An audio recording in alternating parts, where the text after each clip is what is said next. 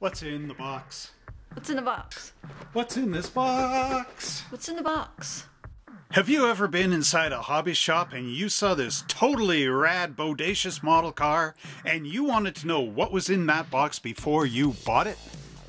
Now, tonight we're going to drive away in style with this 25th anniversary Lamborghini Countach by Monogram. And if you can survive to the end of this video, I'm going to show you a really bodacious looking model car kit that you might want to see next. Quit all that jive talking, Trevor. Let's go down to the bench and see what's in the box. 1988 saw huge amounts of movies, music, and TV shows, and some of those were Elvira, Mistress of the Dark, Killer Clowns from Outer Space, The New Adventures of Pippi Longstocking, Scooby Doo and the Ghoul School, Beetlejuice, and who could forget The Adventures of Baron Munchausen. We also got this really amazing 25th anniversary Lamborghini Countach from Monogram. Now, when I was doing my research on these Lamborghinis, I actually found out that the 25th anniversary lasted from 1988 to 1990. So usually we think of these things as a one-year special one-off car, but Lamborghini actually ran the 25th anniversary Lambo for three years. This model kit is a skill level 2, requires glue, and has 129 pieces inside the box. On this side of the box, we get a little bit of a history of our 25th anniversary Lamborghini Countach right down here. And if we move the box across, it says to choose the model kit that's right for you and shows skills levels 1, 2, and 3. And like it said on the top of the box, this is a skill level 2 kit. Turning the box to the other side, we can see this nice rear three-quarter view shot of our Lamborghini, as well as the mid-engine, which is under that little compartment there. And then there we have the front three quarters of our Lambo.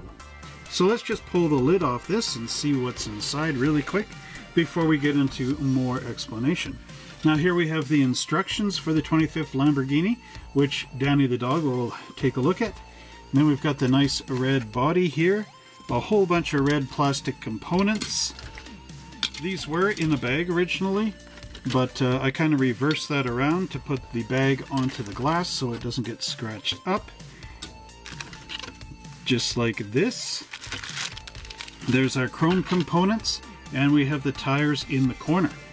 Hey everybody, this is Danny the dog again. So here we have the instructions for our 25th anniversary Lamborghini, and as you can see there's a huge write-up right in here all about the car and the great performance it had, and that it could go from 0 to 60 in 4.7 seconds.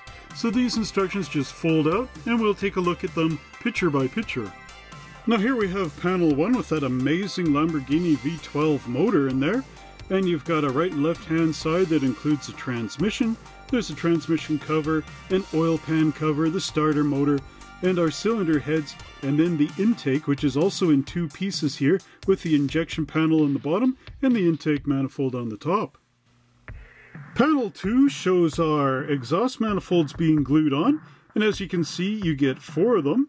And then we've got this elaborate engine mount right here, and then this little balloon is pointing toward there.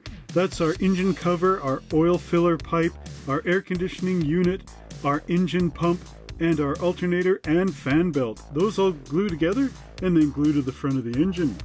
Panel 3 shows our wheel wells with the suspension members being glued on, and then you take both of those assemblies and you drop them right onto the floor pan. Now panel 5 shows these radiators being glued together. You get an outer and inner half, and then they would go right there and there. And then we've got this rear bulkhead as well. Panel 6 shows the lower radiator pipe being glued in place, as well as the dual coils. Panel 7 shows our V12 engine being dropped into place, and then panel 8 shows where the upper radiator pipe goes in relation to the little fans and the engine. Panel 9 shows the cam cover and fuel injection chamber being glued together and then being dropped on top of the engine. Panel 10 shows the installation of the lower muffler half, and then panel 11 shows the upper half being glued in place, as well as this body panel here. And it looks like Trevor actually marked down what the colors are, so F is aluminum, and uh, that kind of neat stuff. Panel 12 shows our independent rear suspension being glued into place. This is the hub carrier on the outside, and then we've got our half shafts in here. And then panel 13 shows the shock absorbers, which you do four times. In panel 14, we see our interior being glued together. Here we have these nice bucket seats, which drop onto our floor pan. Then we've got our shifter lever and our handbrake, as well as this nifty rear window. And don't forget your pedals in panel 15. Panel 17 shows the brake booster and the brake reservoir being glued together. Panel 20 shows our body with the side skirt being installed. Panel 21 shows where our engine cover goes and how it hooks in place, and then we also put in our side glass and the rear view mirror. Panel 22 shows the body tub being glued into place and makes sure that these line up with the hinges of that engine hatch. Panel 23 shows the front suspension going into the body up front, and then we've got these NASA scoops as well. Panel 24 shows the front spring shock absorbers being glued into place, and then the entire chassis pan gets dropped onto the body. Panel 25 shows our hub carriers being glued into place, and then we've got that three-piece wheel with the outer wheel, the retainer, and the inner wheel. Make sure you don't get any glue on that retainer or you're going to lock that wheel in place. Panel 27 shows our completed wheel being dropped into that nice Pirelli tire, and you got to make up four of these. And then in panel 29, it shows how those wheels and tires get glued onto the chassis. Panel 29 shows you how to paint your red taillights in the back here, and then shows you where they drop in in the rear light panel. Here in panel 30, we see that panel being glued onto the back of the car. Panel 31 shows the rear bumper and our backup lights being glued in place, and then our dual tailpipes which go in. Now, in case you were wondering where that front windshield was, here it glues on from the outside, and you get that really cool windshield wiper as well. Panel 33 shows our side view mirror housings being glued on the car, and then you put the mirror into the housings itself. Down here in panel 34, we see the deck lid being glued up in the front, as well as this cross member off the back. And panel 35 shows the front bumper being glued in place, and there's these cool road lamps behind with lenses as well. Now, I didn't see any decals in here, so I guess I'll have to sign off for this video. So have a good one, everybody, and we'll see you next week.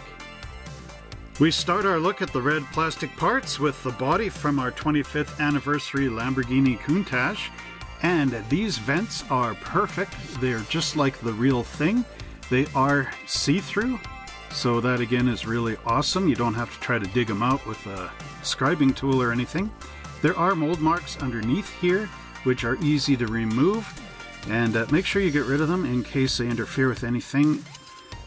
The Lamborghini script is on the back of that little trunk lid there, which is really amazing.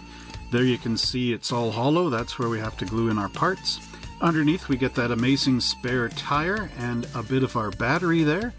Again, very excellent. But uh, I just want to show you something before we carry on with the red parts. Here we have the two different bodies and I just wanted to show you the differences. So this is our 25th anniversary Lamborghini and down here we have the Lamborghini LP500S from 1982 which I did a review on earlier. As you can see the front ends are basically the same. Uh, there is a bit of a difference, you've got that brace in between, but definitely the back end of the body from here is quite different. I do believe though that the sides are, well no, they're different too. They've got the turn signal lights. So Monogram did actually revise the body for our 25th anniversary Lambo. On this parts tree we have our engine cover and our deck lid, as well as the bucket seats, and then the equipment for the engine and our rear taillight panel. There's a couple of the scoops and our front grille, and we even have our dashboard here. So let's just take a look at how great that is. Again, we got those see-through vents, which is really cool. Uh, yeah, there's some mold marks up here that we have to get rid of. Same as underneath on the deck. And there's the, the cross brace in there. The seats are really nicely done, as are the front panel and the dashboard. You can see the gauges on here. I know this is hard to see with the red, but still ends up looking really great. There's those nice uh, engine components. Looks like you get dual distributors on there, right by the uh, injectors. Again, really awesome work by Monogram. This parts tree has our left and right hand side skirts as well as the back under panel. Again, the detail on this is excellent. There's a little mesh right here between the exhaust pipes, which is really cool, and of course a couple of louvers in there. And then those side skirts are really nice with the vents on there. there are some mold marks again underneath, but that's easily taken care of with that number 16 hobby blade. Here we have our Ferrari V12 in potentially a Ferrari red plastic. Not really sure on that, you'd have to color match it. But you can see all the little bits and pieces. We've got those braces here for our front inner wheel wells, or rear wheel wells, I guess. And then the oil pan, there's our front clip. And we also have the upper and lower radiator and our interior tub. So just take a look at how great that uh, molding is. Really awesome stuff. The engine looks correct on there with the transmission off the back. The oil pan is actually finned. Very cool stuff. That's the top of the dashboard right there. And then the front panel. Again, really excellent work. Probably hard to see in red. But let's turn over this so we can see our interior bucket. Now there are some mold marks on the carpet, but it doesn't really look like it would be much of a big deal as the bucket seat should cover that. Again, really nicely done. The shift gate in here looks correct. The circular pattern with the little six, uh, what do you call them, channels to go into. And then there's the rest of the instrument panel there, or the center console, I guess. So again, really nicely done. This will look really excellent in your model. This parts tree contains a lot of the engine and suspension components. We can see all our front springs and rear springs here the little half axles, and then we've got the uh, front lower A-arm assembly and whatnot, and then all the different little hoses and pipes. There's our intake manifold, and uh, there we've got our front spindles and the components for our wheels. And we've got the nice steering wheel there as well. So again, looking at this up close, you can see all the excellent detail on there. Really wonderfully done. On the back again, maybe not too many mold marks, I'm not too sure. But overall, really awesome stuff. This parts tree includes the chassis, and then we've got our wheel backs here, the two little radiators with the fans, cylinder heads, and our exhaust manifolds. There is a little monogram models mold mark right there, but if you really want to remove it, it won't be hard to get it.